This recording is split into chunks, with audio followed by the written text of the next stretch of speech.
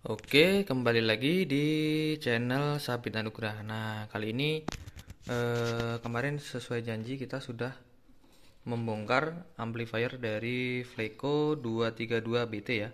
Dan amplifier ini sudah sesuai janji saya. Saya mau upgrade di drivernya ya. Ini namanya drivernya, driver amplifiernya. Kita menggunakan ini ya, teman-teman Enforce 200 ya dari BGR. Nah, ini drivernya seperti ini ya. Ini 200 watt. Nah, saya akan uh, mereview dan mengasih tahu ke teman-teman bagaimana saya merakitnya. Yang pertama uh, ini ya, teman-teman. Di bagian speaker nah, speaker outnya ini. Ini dia cara sambungnya, teman-teman. Ini untuk groundnya ini untuk L itu untuk untuk speaker R ya. Ya teman-teman eh, paham lah yang kayak gini ya. Yang pemula-pemula seperti saya paham lah ya yang seperti ini. Ini langsung aja nanti dibuatin speaker eh, apa namanya soket speaker di sini ya. Ini belum saya paten ya biar teman-teman juga bisa lihat. Nah seperti ini.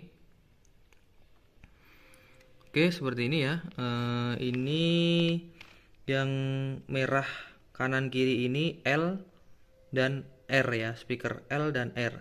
Dan yang tengah ini yang warna abu ini kabelnya ini ground. Ground ini kita jadikan satu. Jadi ini dan kedua yang di tengah ini satu dua ini dia ground ya teman-teman. Yang sini L atau R boleh dibolak-balik. Yang penting tidak salah pasang aja ya. Jangan sampai gabung dengan ground ini ground yang tengah ini yang abu ini jadi satu yang merah ini L atau R ya boleh dibalik. Oke. Nah kalau ini sih untuk ini ya teman-teman untuk RCA nya ya di sini. Untuk RCA ya sama ya teman-teman cara pemasangannya seperti pemasangan soket speaker. Dia ada L R dan ground jangan sampai terbalik ya. Nah, jadi di ground itu kakinya ada dua itu digabung aja yang di sini ya saya rasa sih kalau itu teman-teman pasti tahu lah ya. Ini sebenarnya gampang banget ya untuk cara pemasangannya. Oke dan uh, selanjutnya di sini untuk uh, tegangan kita menggunakan uh, 18 volt ya. Di sini tersedia 24 volt.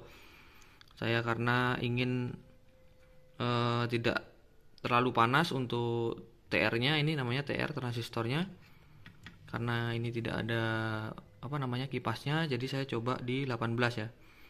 Biar aman tidak terlalu panas. Ini di sini ya. Teman-teman langsung ambil aja di sini. 18 sama CT 18 ya. Ini dia. Cara pemasangannya gampang tinggal disolder aja 18 dan 18 CT ya. Di sini ini kan ada tertera di sini 24 dan 24 volt. Di sini kalian ambil di trafonya 18 volt aja ya. Oke. Yang saya temui di amplifier Fleco ini ya cara penyambungan di bagian eh, ini apa namanya nih? Sebentar ya nggak kelihatan nih. Di bagian output outputnya bawaannya si Fleco ini ya ini teman-teman. Jadi ini agak e, rumit ya. Di sini banyak sekali. Nah, ini aja dah yang saya terangin ya, teman-teman di sini. Karena ini sama nanti oh, mana nih? Nah, ini dia. Di bagian outputnya Fleco ini dia terdapat beberapa uh, ini ya, beberapa indikator. Sorry. Beberapa petunjuk Nah, di sini kalau input uh, dari Fleco-nya ini ada R, ada AG, ada L, ada G, ada V+, ada 5 5 volt ya. Tulisannya begitu ya. Jadi teman-teman, kalau yang R dan AG dan L ini adalah output musik ya atau output untuk e, menuju power ini ya jadi nanti teman-teman di sini ya ini soketnya itu yang yang ini nih yang ini nih Nah, ini yang saya terangkan sebelumnya tadi. Ini nanti menuju ke sini ya, menuju ke input. Output ini menuju, menuju ke input. Jadi jangan sampai salah ya, teman-teman. Sebelum kalian menyambung ke amplifiernya itu kalian harus perhatikan di sini karena groundnya ada dua ya. Jadi kalau R, AG, L ini output musik ya, begitulah bilangnya biar gampang ya. Output musik.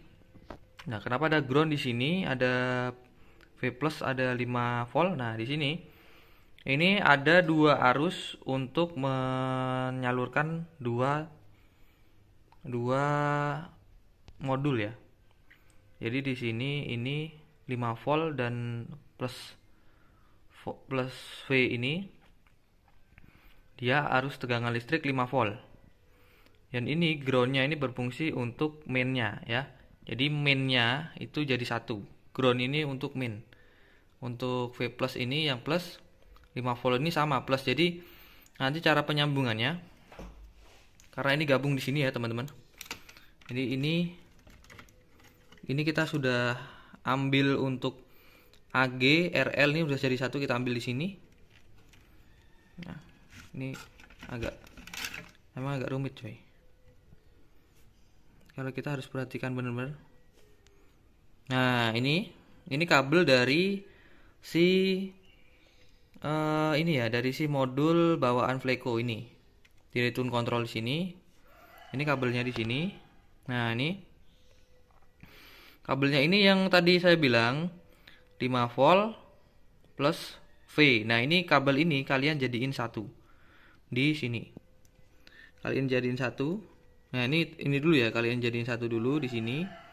Habis itu teman-teman ambil bagian ground. Nah ground yang saya bilang tadi ya. Nah ini contoh contohnya di sini. Nah ini. Ini aja. Ini ambil kalian ambil ground. Kalau yang 5 plus V sama 5 volt tadi kalian jadiin satu digabung. Terus selanjutnya kalian ambil groundnya. Groundnya. Groundnya mana tadi? Nah ini. Ini dia. Ini groundnya sudah saya pisahkan ya. Ini yang saya pegang ini ground ini sudah saya pisahkan ya. Ini sudah saya pisahkan groundnya ini. Teman-teman masuk ke sini ya. Nah ini. Nggak kelihatan ya. Nah ini ya teman-teman. Ini saya menggunakan eh, 5 volt dari mini ampernya trafo ini ya. Nah ini untuk penghambatnya saya menggunakan bentar. Ini saya penghambatnya menggunakan elko elko nya itu bebas ya teman-teman. Yang penting jangan terlalu besar aja ini ya ukurannya. 16 nih 16 ribu. Nah ini ya. Ini ukurannya segini saya pakai 16 volt. Dan saya pakai juga untuk diodanya ya. Diodanya yang kecil aja boleh ya saya contohkan sebentar dioda yang kecil atau teman-teman bisa menggunakan dioda yang lebih besar oh boleh aja sih ya. Aman-aman saja saya sudah mencobanya. Tidak ada terjadi masalah. Nah seperti ini ya. Nah ini teman-teman kalau mau mencontoh saya pakai ini aja sudah sudah aman ya. Ini dioda apa nih nah ini 16 diodanya 16 volt 4700 ya. Nah ini dari Rubicon Robinson ya. Rubik Rubis Rubikson nah ini. Ini nah cara pasangnya.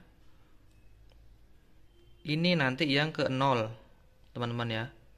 Ini yang ke 6 volt karena di sini ada tulisan 6 volt. Ada 6 volt ya.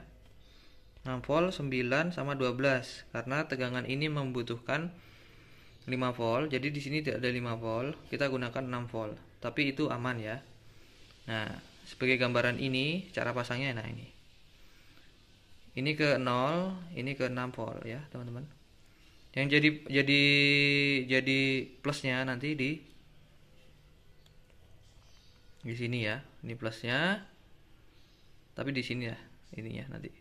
Jadi plusnya di sini untuk jadi groundnya di sini ya. Nah kurang lebih seperti ini ya cara saya bikin 5 voltnya.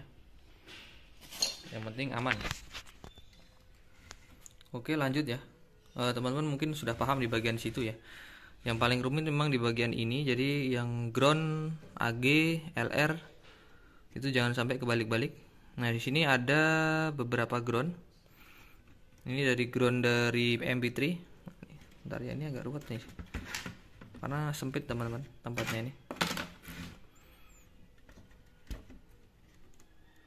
Nah saya ambil aja lah ya ini. Kalau teman-teman punya ampli seperti ini pastikan ini ada ground nih. Ini ground ini ya. Ground ini kalian teman-teman kalian masukin ke CT ya. Nah ini saya sambung ke CT jadi satu dengan CT ini ya saya pegang ini CT namanya.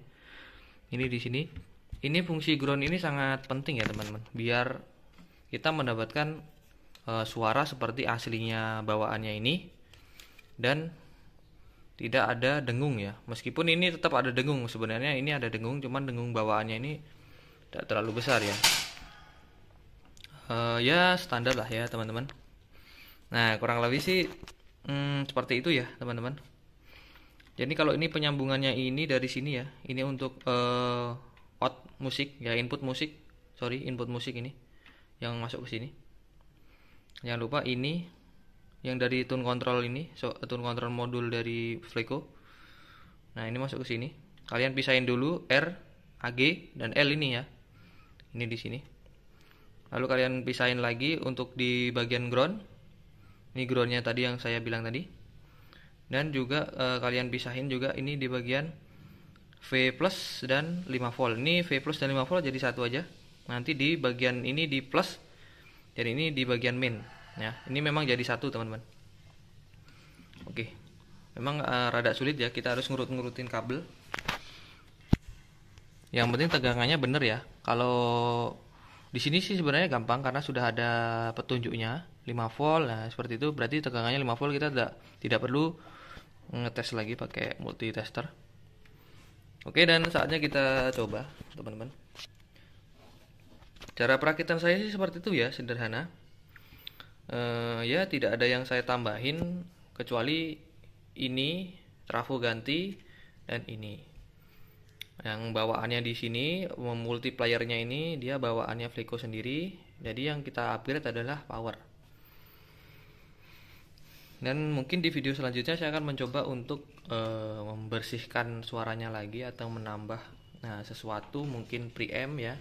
Sebenarnya saya sudah ada preamp ya preampnya kemarin saya coba itu ternyata rusak ya. Kita coba aja. Jadi saya tidak menggunakan preamp untuk saat ini. Oke. Sudah saya colokin ya teman-teman. Ini kita coba langsung. Nah dengungnya ini ya standar lah ya. Tapi kalau teman-teman pengen perbaiki lagi ya nanti di next video kita perbaiki lagi. Ini bawaan dengungnya Fleco tetap masih ada. Saya sudah coba perbaiki tapi memang tetap sama ya tetap sama bawaannya seperti itu. Tapi tapi suaranya beda. Suaranya lebih bertenaga karena powernya udah diganti. Nah kita pakai ini lagi loading dia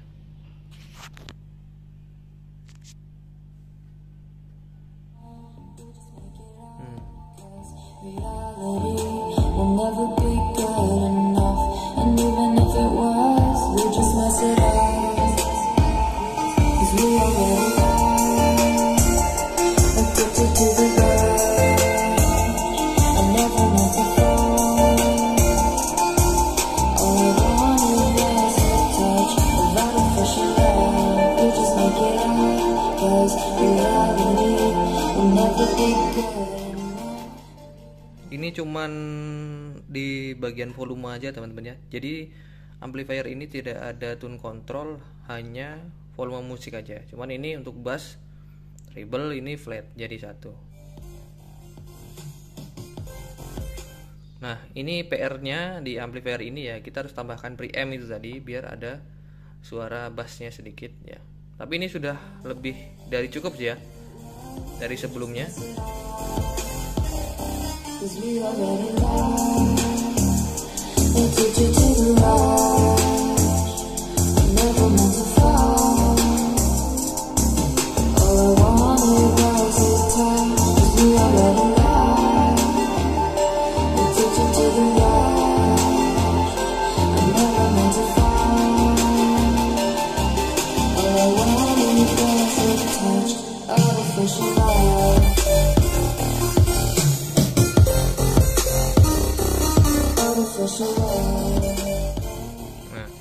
Suaranya kurang lebih seperti itu.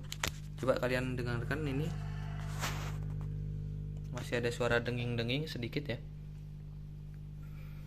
Oke, dan mungkin cukup itu aja yang bisa saya sampaikan. Nah, ini kenapa saya kasih lampu di sini untuk menunjukkan bahwa trafo ini memang benar-benar hidup ya di tegangannya sebenarnya ini mau saya copot aja nanti ini cuma indikator aja